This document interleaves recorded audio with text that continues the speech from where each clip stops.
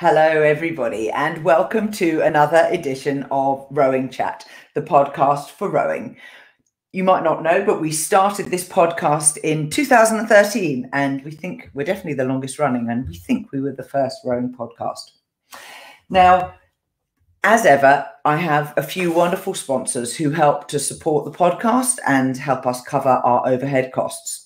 The first one is a rowing retailer directory. During lockdown, I was thinking about ways that I might be able to help rowing businesses who were struggling for obvious reasons. And I came up with the idea of starting a directory where you can go to find a rowing business for your particular needs, bearing in mind that a lot of us are in different parts of the world.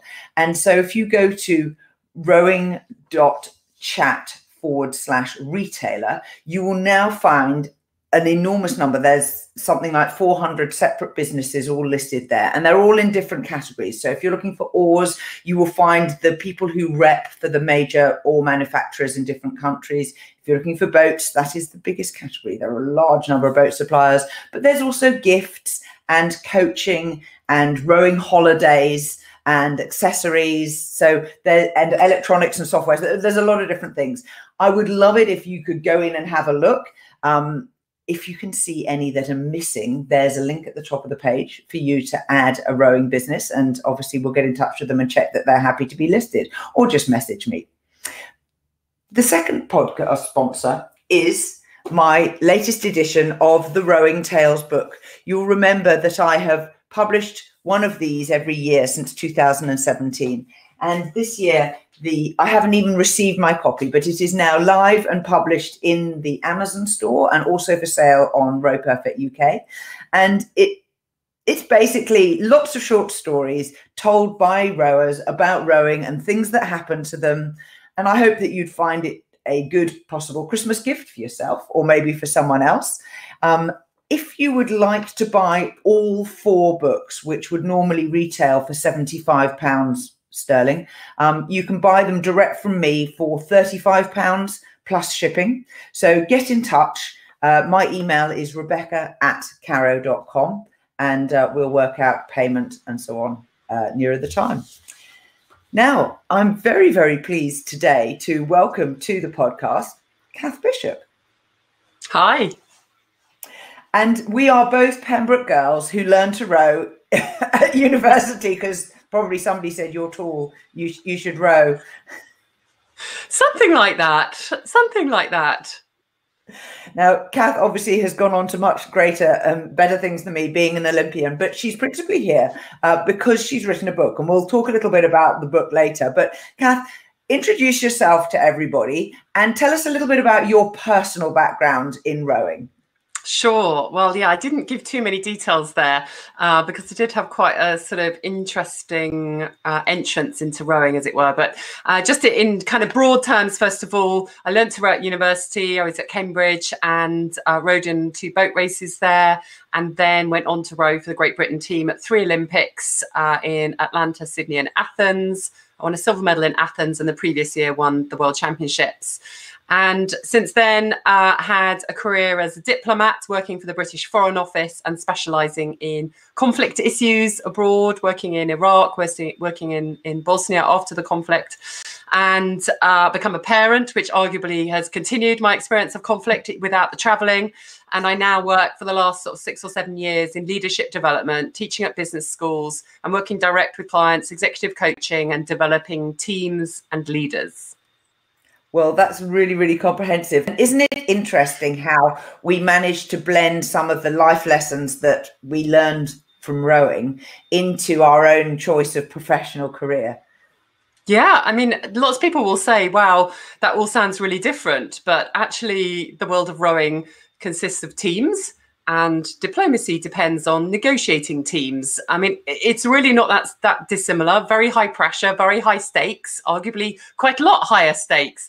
Um, you know, and I remember finding it quite refreshing, having thought that going backwards uh, as fast as I could in a boat was the most important thing in the world. To actually realise when I became a diplomat, there were quite a few other things on that list that came above rowing, and that gave me actually a wonderful sense of perspective. I joined sort of just after my second Olympics um, when I needed a bit of a break from things reflecting on whether I was going to retire or, or, or do one more, and um, actually getting that world perspective was so helpful for then returning to rowing and loving it and appreciating it and, and seeing it in a in a really different light.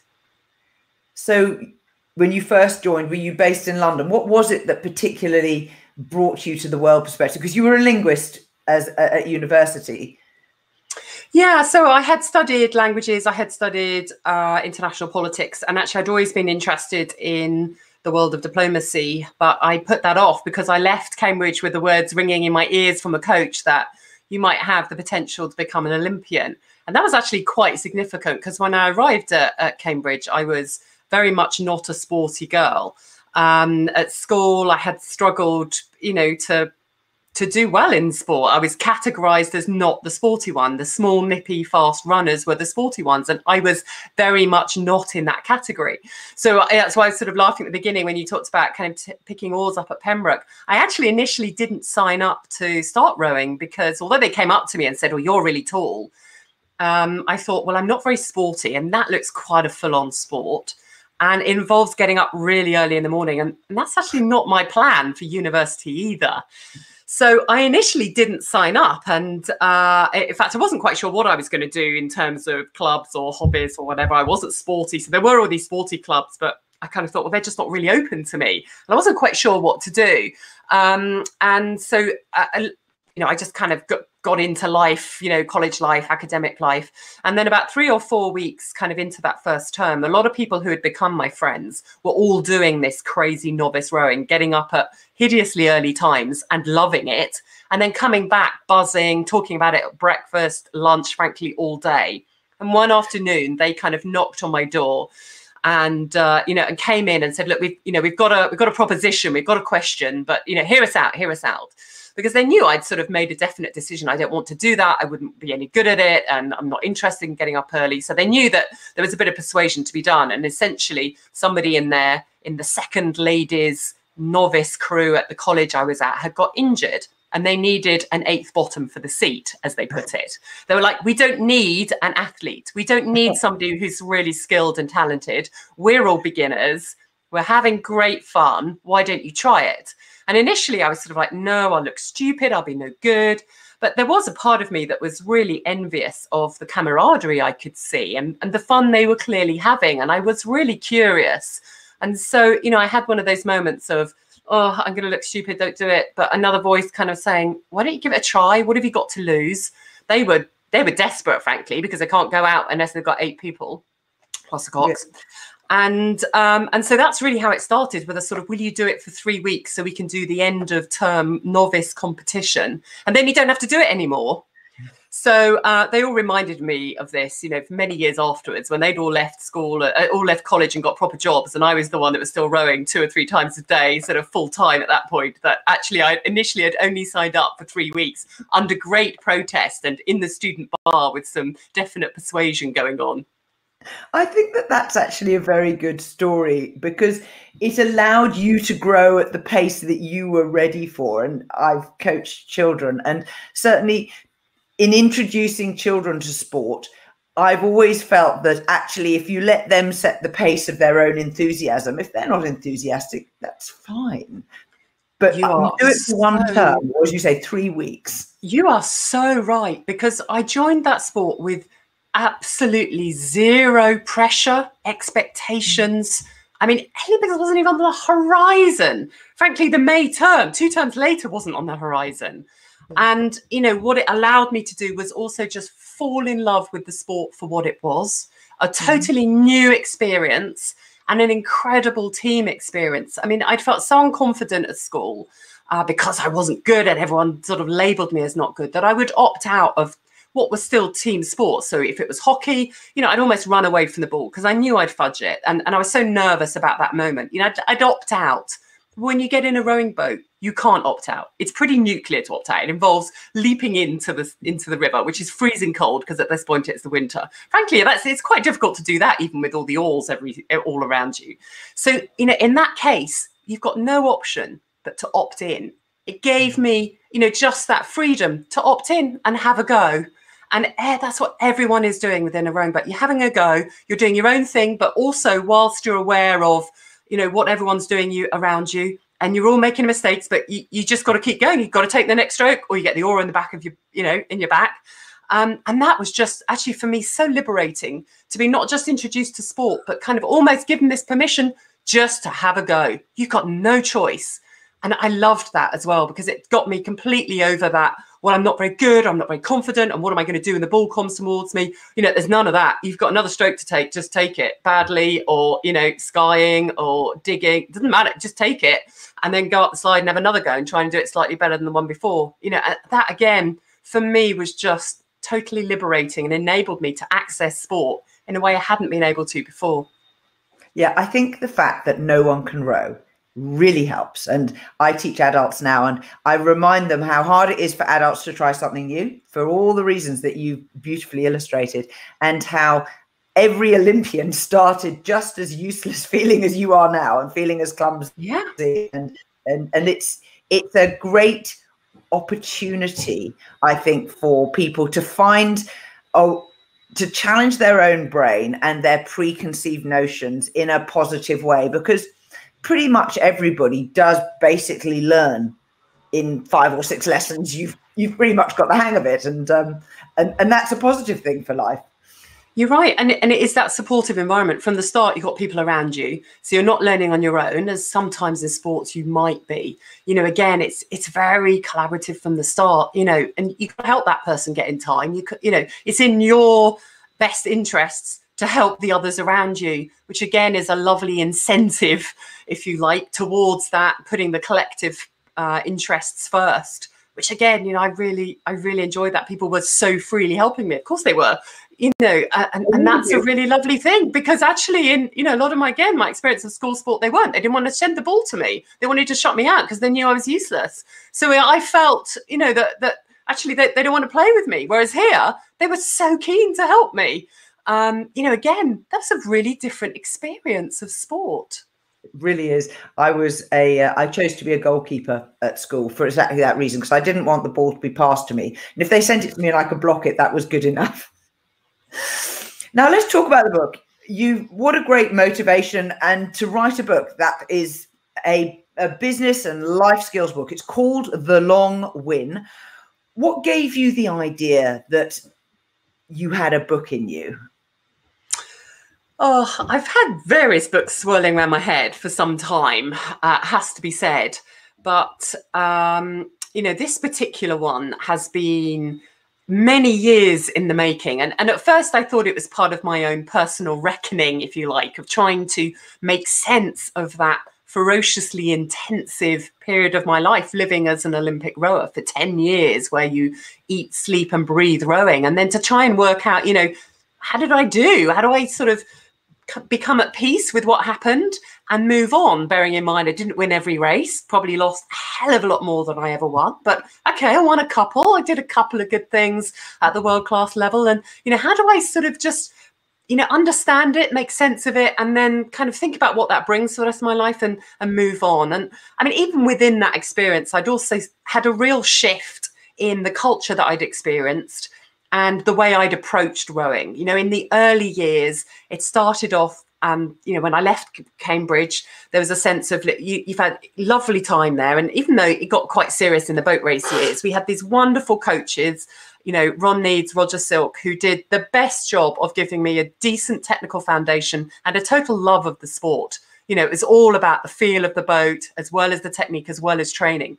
But then there's this sense of, right, you know, when, when I then kind of moved on to this Olympic path. A path is a bit of a kind of elaborate word. Nowadays there are pathways. Then it was sort of a bit of a, a, kind of a messy dirt track through a forest to get into the squad. But you know, once I sort of was within that world, going to trials, then there was this fun like you had at university anymore, No, no, no, no. This is pain. This is sacrifice. This is hours. This is total commitment. This is, you know, this has to come before anything that you ever do on any day in the in the next part of your life. You know, if you lose, don't be happy. You must be miserable because winners are miserable. Um, you're not going to have any fun basically until you get on the top step. If you get the, t- you can have fun when you win, but don't expect to have fun long. All of this culture and I was like, wow, I've never encountered anything like this before. This is, oh, this is something else. But obviously, these people have been to the Olympics and won medals. So what do I know? I mean, I'm the I'm the new girl here. So I've got to learn to do this. So I spent the first part of my life in the kind of the first two Olympics, really,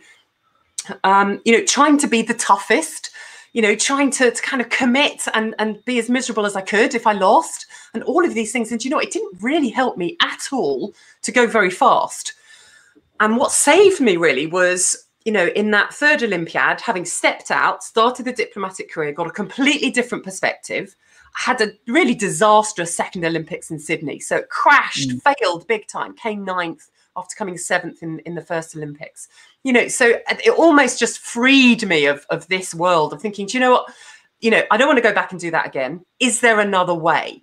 And yeah. sports psychology was then just starting to shift towards this performance mindset thinking where we separate results and performance and we focus much more on what we're in control of. And every day we're just trying to improve.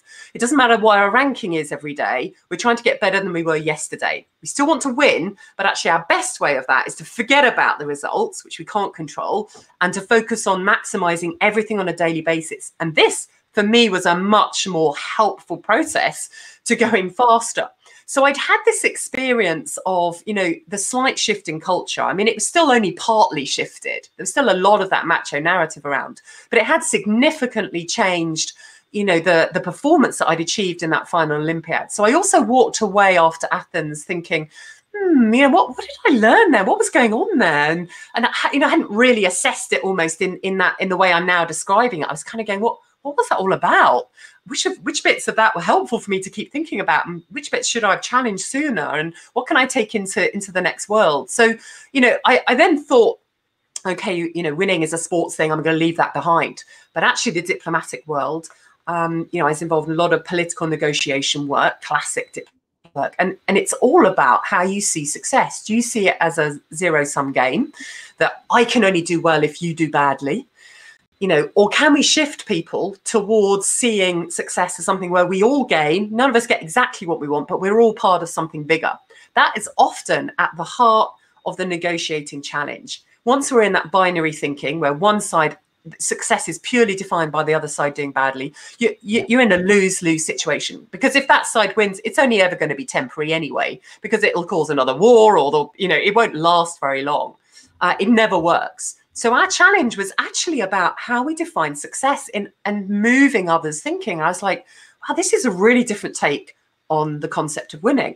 I then yeah. kind of in, the, in in my sort of current work now in businesses with organizations have found this narrative coming up where I know I think they're particularly attracted. They think, oh, you're an Olympian, come in, we want to win, we want to be number one, you know, come and teach us how to win, we want winning teams. And then I sort of ask a few questions about, okay, have you got good engagement? What are staff survey figures? No, that's what we wanted to come in and help people be engaged and motivated. Right. So they're not motivated by that rhetoric then at the moment. That's interesting, isn't it? You know, what's behind wanting to win? Why do you want to win?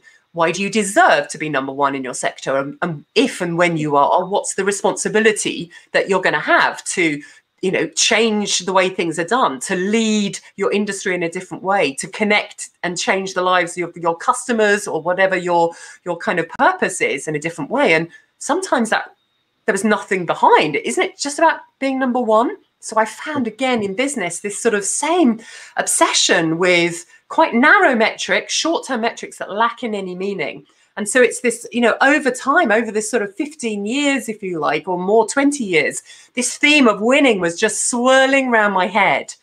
And I knew I had to write a book about it. Well, wow. And congratulations. And on that point, I'd like to read out a quick quote. Um, I often look for what is the core insight in a particular situation uh, that is useful. And Cath wrote this how did you feel when you crossed the line? For a long time, I got wrapped up in introspection, trying to find the best answer until I realized that it was as much about the questioner as it was about me. It was about our shared need to work out what constitutes winning and that pull to relate to someone else's experience to make sense of our own criteria for success. And that for me was a massive eye opener. And it's, it's like on about page three of the book. So how long did you actually spend trying to answer the how did you feel when you crossed the line question?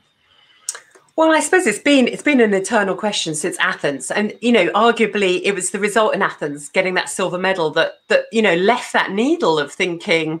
Well, in lots of people's views, I've just failed you know, I'm the first loser in lots of that language that I've heard for years. Don't settle for second place. You know, second place is for losers. You know, no room for second place. We're here to win. We're here for the goal. You know, all of that stuff that, you know, you still hear on the yep. touchline, even, you know, in parenting world. You think, oh my word. Um, you know, there was a lot of that resounding. So, you know, I walked away from Athens uh, you know, the BBC commentator kind of commentating on our race kind of goes, oh, here they come up to the line and they're only in silver medal position. So I thought, wow, that's really interesting. You know, what what do I how do I make sense of that? What what do I think is the case there? And so, you know, again, there was a lot of that result that sort of left me thinking, well, I know what some other people are saying about this. Not everyone, lots of people are going, that's great. Right. But, yeah. You know, what what's what, what, what does it really mean? Um, and of course, it is a question that a lot of people, if I give talks, they'll say, How do you feel about coming second? And I mean, I remember talking to Greg Searle, who came fourth in Sydney, as well mm. as winning a gold medal and a bronze medal. And he says the result that people ask him about is the fourth.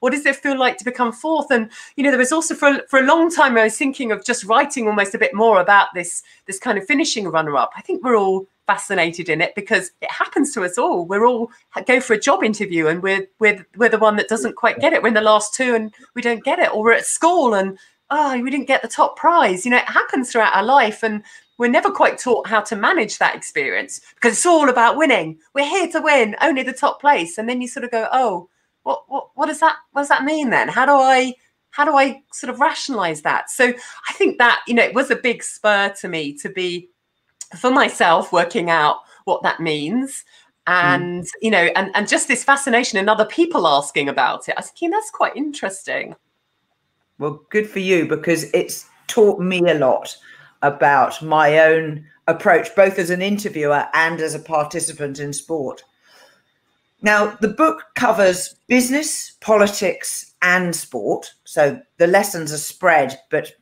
the principle underlying it obviously is is very similar.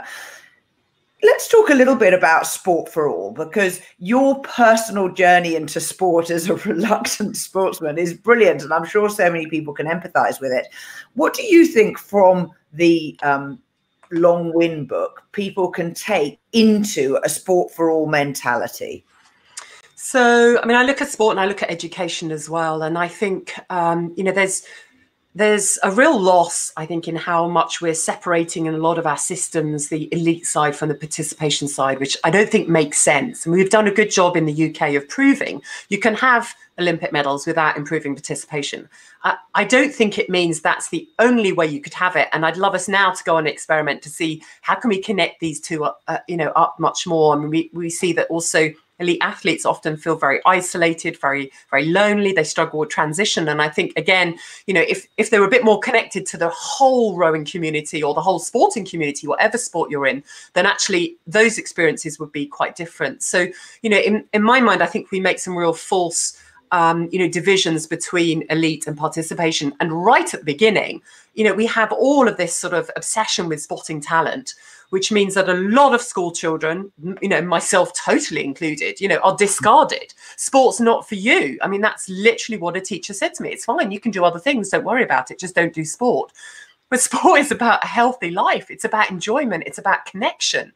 The purpose of sport is actually that connection, the joy we have in watching the race, whether it's actually at elite level or grassroots level. And we've somehow lost sight of that and our obsession for these medals, the short term medals.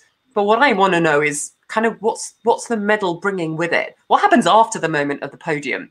And not enough in my mind because we are not uh, you know, uh, enabling our sports to be openly accessible to everyone at the level that they want. You know, particularly at children's levels, there's so much talent spotting that is ridiculous. And there's a lot of research that says we cannot identify talent because of the different rates in which children develop. And of course, there's also often a big trend towards the, you know, the older ones that turn up do better just because they're older. And so the younger ones are discarded. I mean, there's so much nonsensical decision making that happens there because we feel it's the right thing to do. And again, I really want to challenge that because actually, um, you know, we all progress at different rates, and that is the joy of sport. It's about a healthy life, um, and actually, you know, by detaching the elite world, but also letting that elite world get less healthy in the process there's a comment from someone who's watching live, which is this is such an interesting question for rowing clubs to ask, especially as they can concentrate on pouring resources into the elite kids.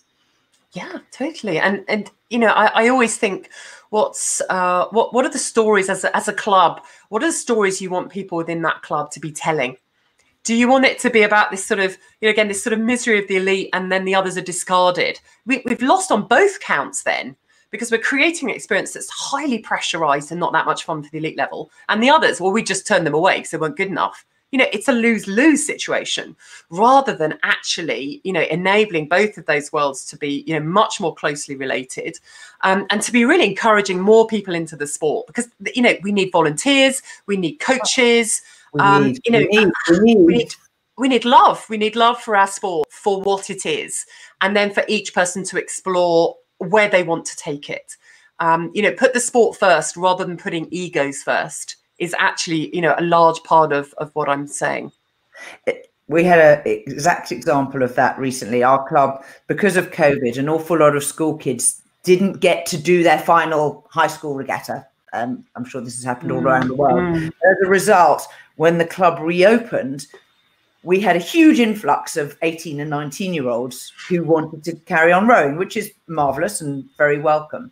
But the club has limited resources and is a high performance club. And so a couple of kids were politely told that they weren't going to make the grade. And instead of arranging for them to go somewhere else, they were let go. And one of the things that I am trying to introduce as a concept is that a master's rowing group is a group for adults who want to row, not just people who are over 21 and fulfill a master's category. It's for adults who want to go rowing, some of whom want to race, but many of whom are actually just happy being out on the water. And for me, that was a, a personal disappointment that I got told about it after it had happened. And you know, you have to change your constitution to enable you to welcome people who are, you know, participants and there for the fun of it. So I think that you're right that it's a big challenge to the entire sport of rowing uh, as to how we welcome people and what we can enable people to do that they enjoy. You know, if you're an eight who just likes going for a row and then going out for breakfast, and is that fine? I mean, who's judging? How can it not be fine? How could we ever want somebody who wants to go rowing how could we ever turn them away i, I cannot really understand the logic there i mean I, I, get the resource there are resource issues there's access to equipment but fundamentally yeah. it, it's a it's a sport that we all love and I, I would want as many people as possible to be able to access that in the way that makes sense to them there you know whatever sport we're talking about, we shouldn't be turning people away, you know, in that wider kind of social piece. I actually think a lot of our rowing clubs can be a real beacon in the community. And there is a real challenge because it can be a clique, it can be quite a narrow section of the community to, that, that row. And that's actually not helping us either. You know, selfishly short term, maybe that's okay. But longer yeah. term, we could play such a bigger role within the community with all sorts of different groups. You know, if you think of the kind of social challenges of obesity and mental health, um, you know, and just that need, if you like, to to kind of have a community spirit that looks after us in challenging times as we've had this year, then again, you know, there's there's that bigger role, and and in my mind, that's the the bigger prize beyond the medals. It's that social responsibility that comes with being involved in sport that makes it worthwhile after the podium. Otherwise, the podium only lasts five minutes. But yeah. what happens after that? You know that we talk about kind of winning gold medals for inspirational moments but nobody defines inspiring to do what? Inspiring people to have another beer watching on the sofa you know? Or inspiring people to become part of sport. You know i think we should be actually much more ambitious. I'm not about lowering standards. I'm about broadening the framework within which we situate performance sport. And i'm about seeing a bigger potential in the power of sport to have a number of positive benefits across our communities so let's talk a little bit then about how we teach coaches because uh, rowing clubs are naturally generational and you tend to be taught by someone who themselves was a member of that club or another club in the past and who has learned their coaching in in two ways. Most people learn by firstly having rowed themselves and being coached, received coaching. Secondly, they may go and do a, a program to get a certification as a, a coach from you know the National Federation, and then they learn on the job.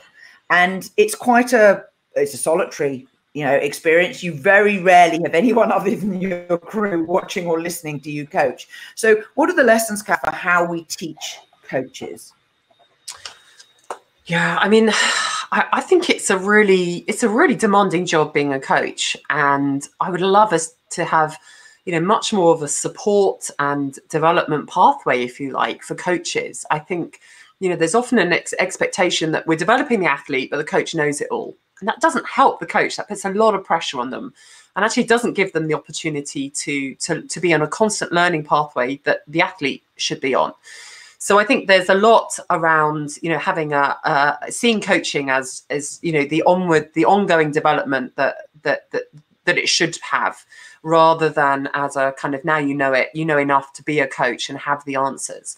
I think you know coaches are often very isolated. We we have this sort of mantra of you know one coach per crew, and you live and die by your crew, and you don't want anyone else to coach them because they might go slower, and you actually also don't want anyone else to coach them in case they go faster.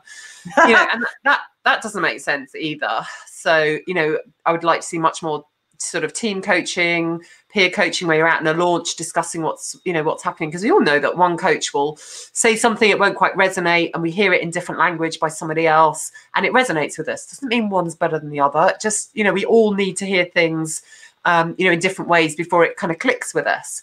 And mm-hmm. so, you know, again, there seems to be this sort of often quite a macho narrative almost around coaching, who the good ones are, who they are. And, and I think we need to kind of, you know, step back and think about creating a, an ongoing learning pathway for coaches where actually their job is not to come up with the right answers, but to learn to be a better coach all the time, to be thinking also less about developing the athletes and focusing on developing the environment into which the athletes come. So again, I think we overly fixate on individuals rather than thinking, you know, my job, you know, is is is to provide the environment so they've got everything they need to improve, but then they need to make some choices. They need to step into things as well. Whereas we tend to get this sort of coach fixing athlete situation.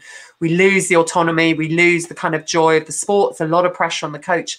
And, and that's not really working from a from any perspective, experience or you know the experience of being in that situation or the performance that comes from it, and it inevitably shortens the kind of uh, life of that relationship, if you like, or potentially the life of someone in the sport. I think we've got big retention issues at all mm. levels, grassroots to Olympic level. And that's a really useful lesson to think okay, what are the things we need to change around the cultures, around the different responsibilities we have within that, the power balance, if you like, between the coach and the athlete?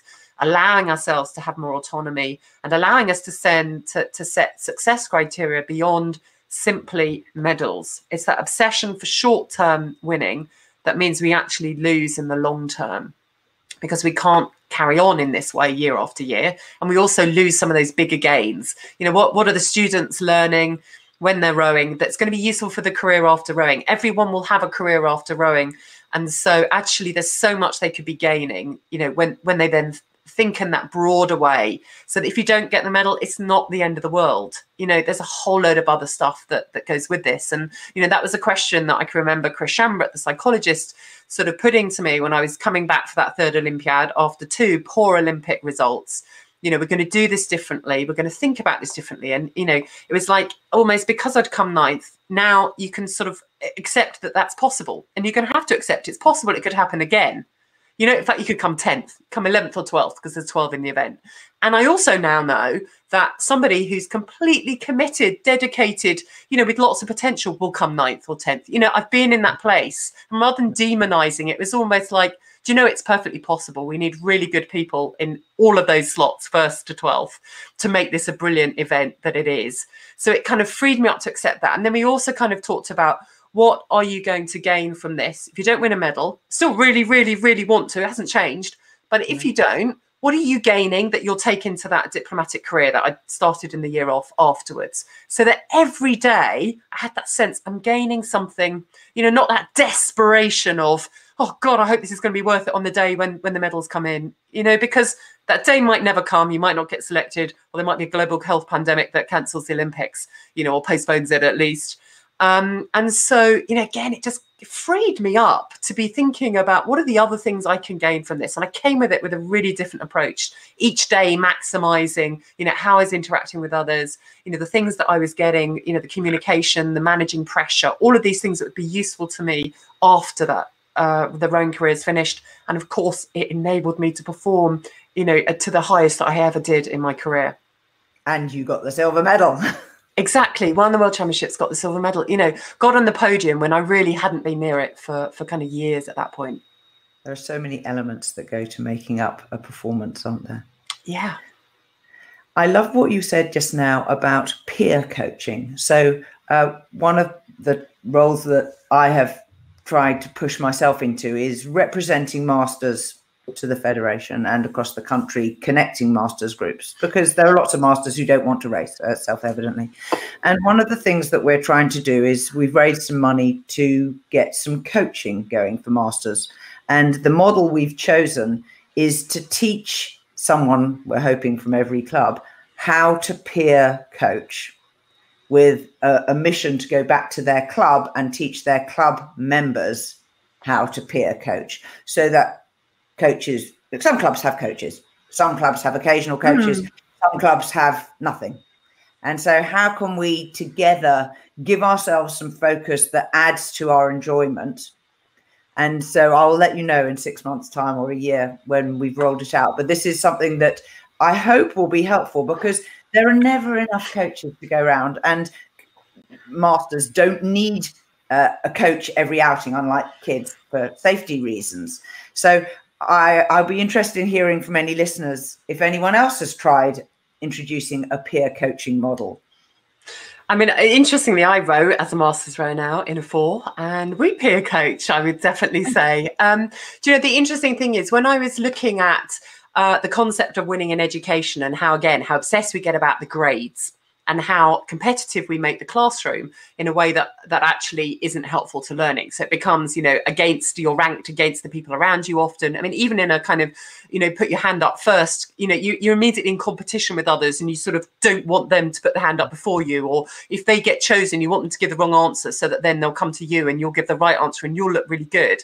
So we yeah. set up a lot of this kind of unhelpful competition against our peers in the classroom. And there's a, a, lot of research and literature around cooperative learning being far more effective. There's a brilliant academic, Alfie Kohn, K O H N, who has a website and, and amazing books where he really sort of criticizes our education system that overuses, you know, re- rewards and star charts you know, and also sets up um, pupils against each other. And, you know, he shows that the most, you know, the much deeper learning comes from cooperative learning, peer learning within the classroom. So, you know, actually what, what you're doing is part of, I think, you know, what we need to do a, a, as a bigger challenge about what does good coaching look like? What does good being an athlete look like? What's our, all of our responsibility in learning and challenging each other rather than sort of this is what the coach does over here and this is what the athlete does over here. No, actually, we're, we're all kind of learning together.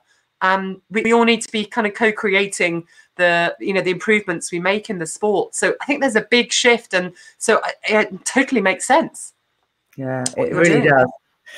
Now let's talk a little bit about school rowing because obviously our commentator mentioned it and you've mentioned it, and in many countries, school rowing has become a sort of arms race where every year the training gets more intense there are more sessions more is invested and the winning culture is reinforced so many times. And you've already mentioned some of the challenges of people of different age and who physically develop at different speeds.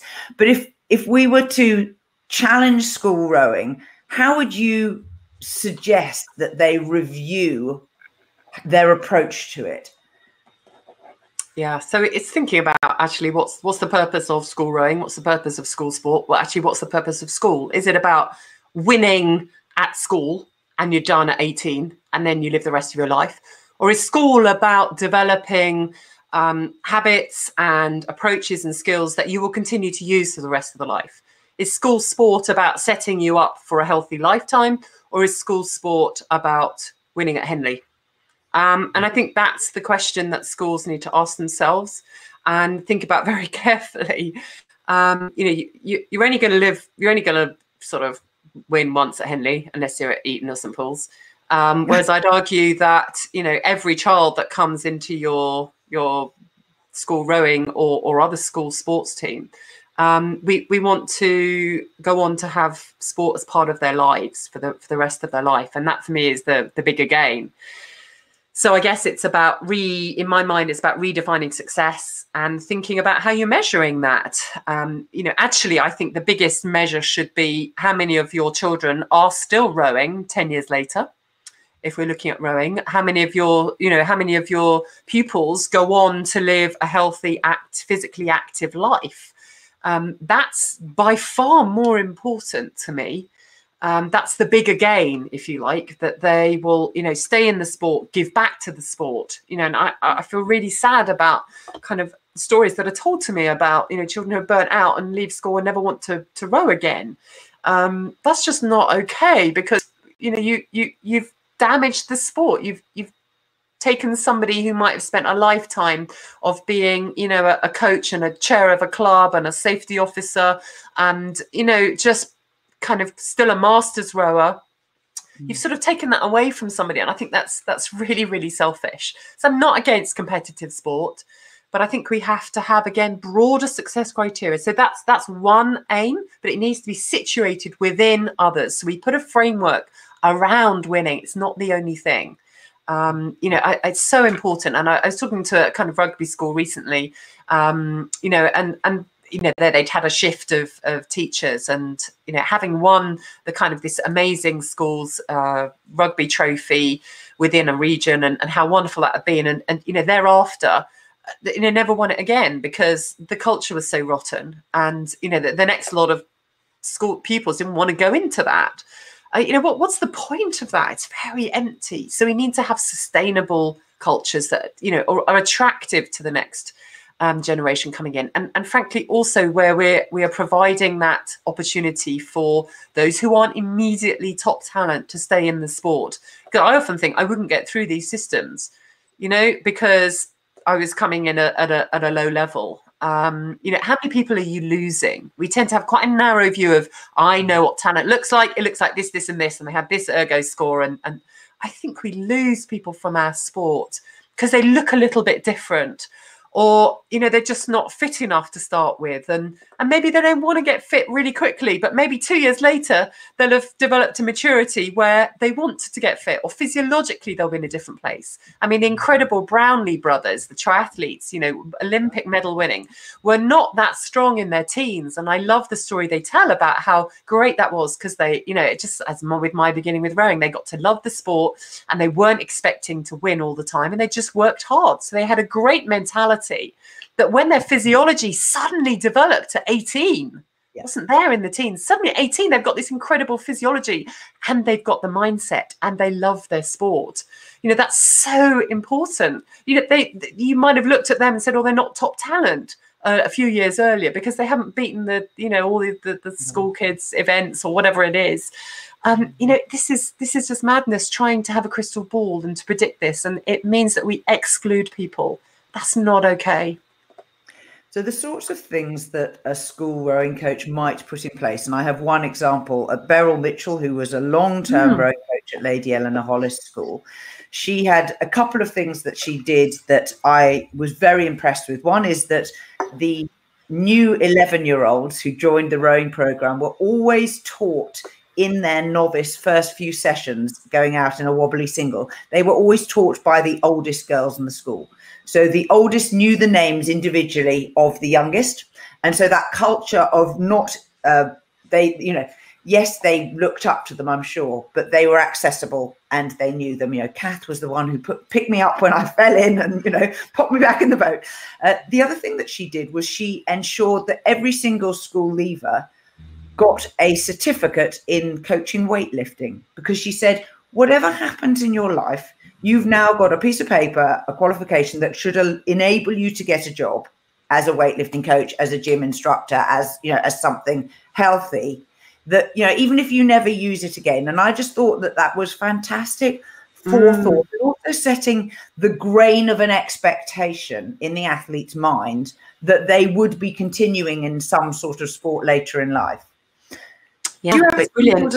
things that school rowers and coaches and leaders could be doing to set up this healthy framework yeah, I mean, I love that. It's it's it's great examples of a broad of broader success criteria than purely that that result. We still want the result. We still want to do as well as we can, absolutely. But we're situating it with other things that mean it's not all or nothing. It's not oh you're you know it's amazing you're the best in the world if you win and, and you're a total failure if you lose. That's just not healthy for anyone.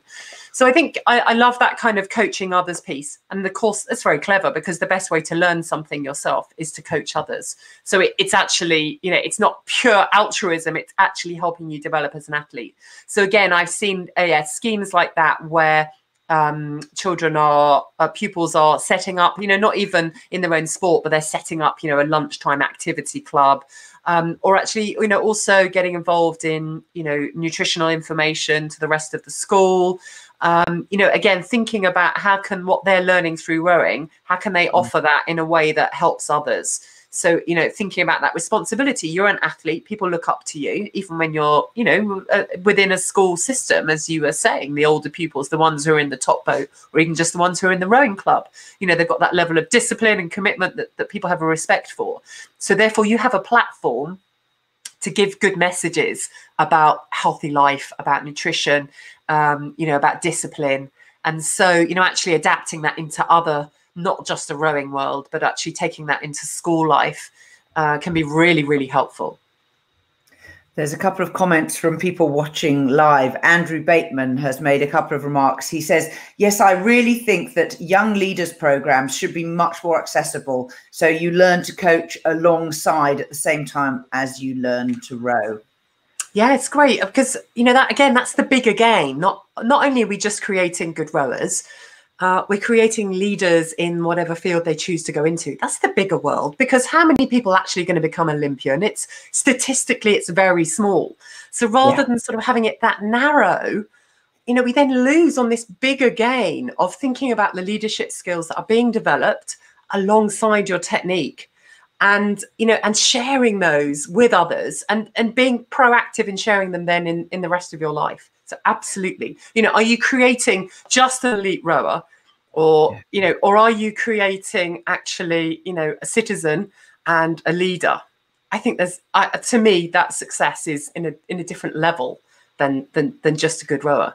It's not enough. I want to be more ambitious and and I totally support it. So if you've been listening and you think you might want to start a conversation around some of the um, issues, but also some of the solutions that Cath's presenting, let's talk about how to have that challenging conversation with the people who are notionally in charge or running the show.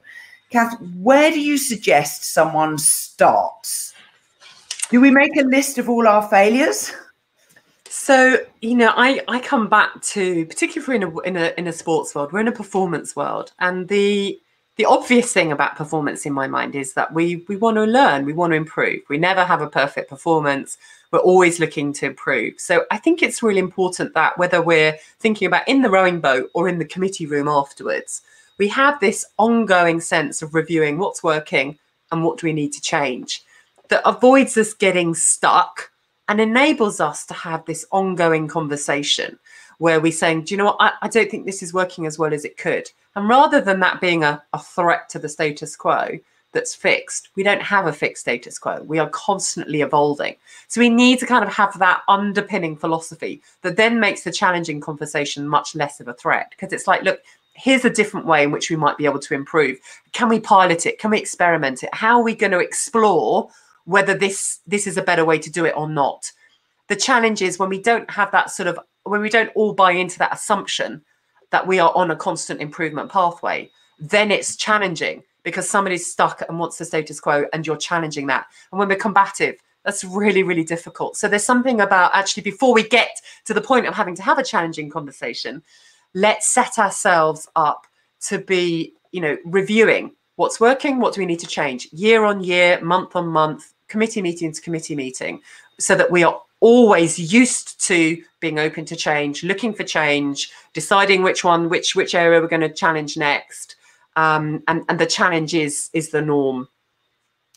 I think that those things can definitely make it easier, but certainly my experience of running change programs is it's always worth starting with the willing and being very open about what you're talking about. So people can observe and reflect in their own time and make their own minds up uh, because you're not going to persuade everyone from the get-go that your idea is marvelous. Um, and you know there is the fear of failure is is innate in every human being.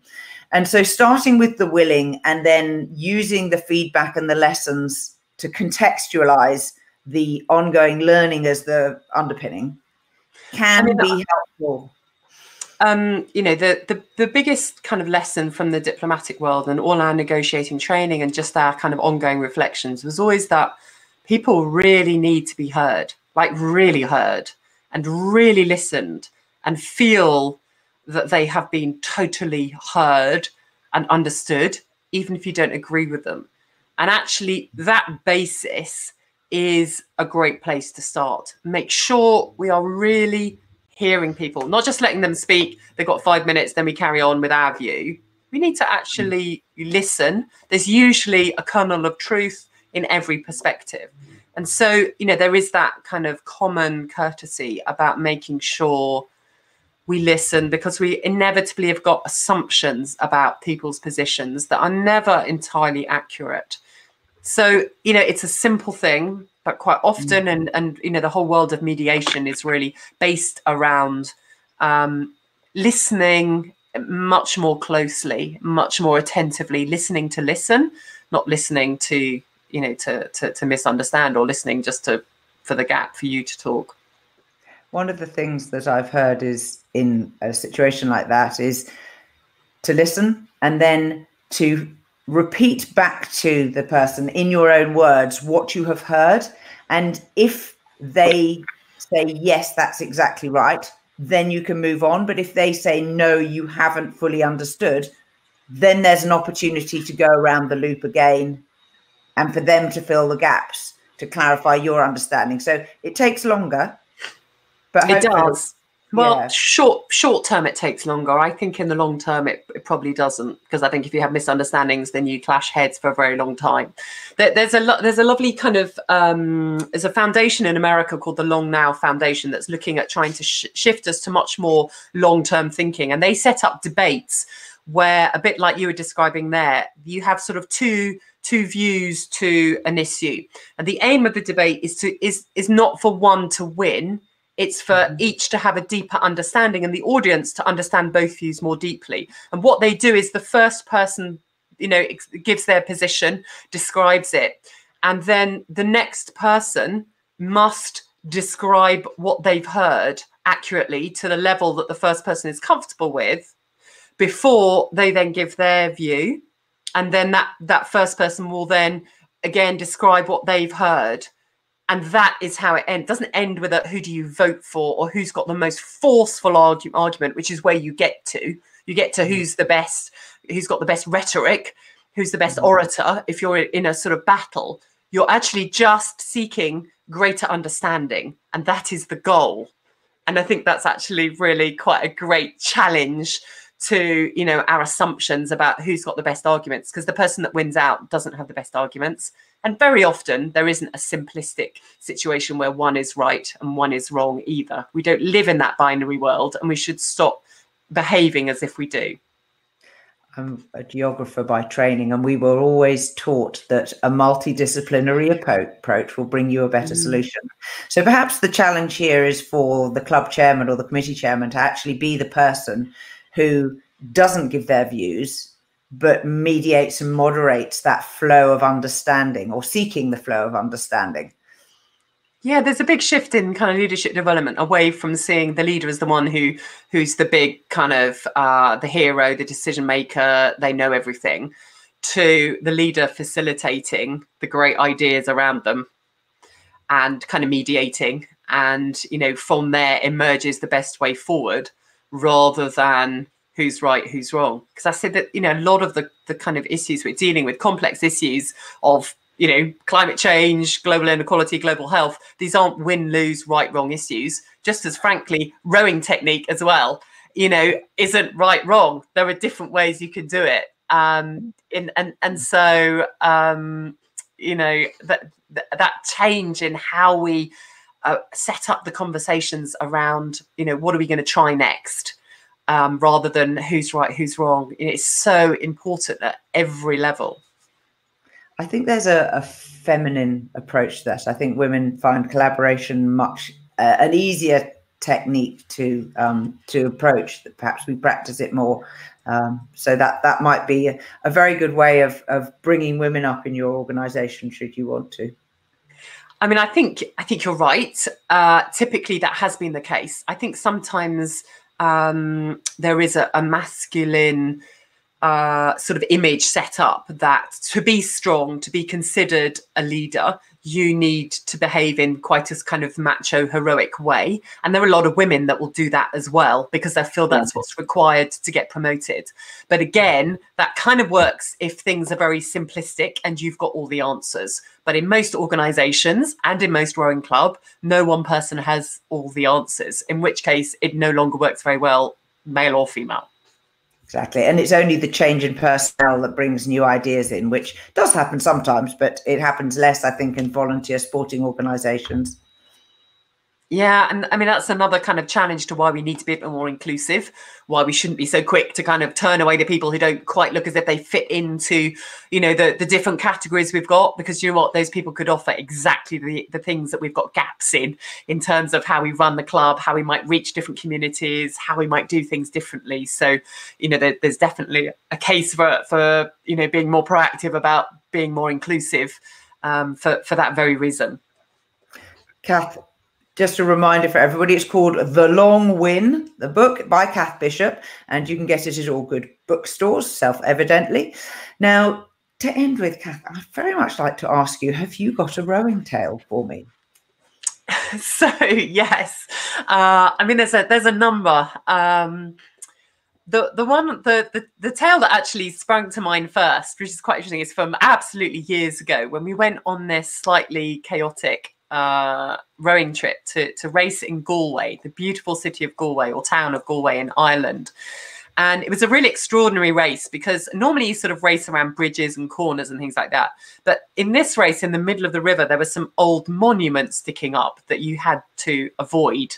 Um, and we had a really inexperienced cox, and we went out in the afternoon um, we'd already sort of slightly, you know, scratched the bottom of the boat on on a couple of sort of old bits of monuments sticking up in the river. And I can just remember sort of down the actual race, you know, rather than you be saying, you know, up to or you know, tighten the catches or you know, bridge coming up. I just remember going, monument, monument coming, monument on the left, another monument. And I just thought that was kind of one of the kind of craziest calls that I've given from the stroke seat to this Cox, who is, you know, as I knew we were about to kind of basically launch ourselves and potentially get stuck on the middle of this monument, a very ancient monument in the middle of the Galway River. Oh, that's fantastic. Thank you so much. You're getting lots of laughs from people who are watching live on Facebook. I'm I'm now going to have to go and look at photographs of the river in Galway and find out what these monuments are. Yes, although there are probably a little bit less of them now since we've raced there. Uh, yeah, I know. I feel I ought to know that question. I'm going to go and look up too. Cath, it's been an absolute delight. Thank you for your huge investment in time and writing the book, but then also interpreting it and bringing it to the sort of consciousness of the rowing community through Rowing Chat. Um, it's been marvelous. Now, can you tell the listeners where they then can connect with you? Sure. So I have a website, cathbishop.com. Uh, I'm on Twitter at the Cath Bishop. I'm on Instagram, Cath underline Bishop. So pretty easy to find. LinkedIn as well. And you know, I'd love to hear any feedback on the book, any questions, any thoughts. Uh, you know, I'm really enjoying the kind of opportunity to connect with a lot of different people um, through the ideas that that I share there. Thank you ever so much. And to all our listeners, please like us and uh, continue to subscribe to Rowing Chat and tell your friends. Please, if you've enjoyed this episode, share it and tell one new person what you've learned today. So, till next time, bye bye.